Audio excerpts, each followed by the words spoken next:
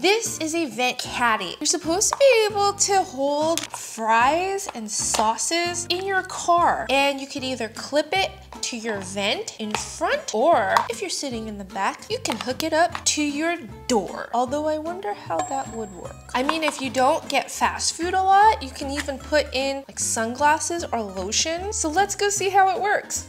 Can I just get um some curly fries, please? Do you have honey mustard? All right, I'm gonna use the vent clip. Eh, what's really going on? What kind of vents do these go on? Oh, there we go. Okay. Thank you. Haha. Huh. Get the curliest fries. I'm gonna give this 7 out of 10.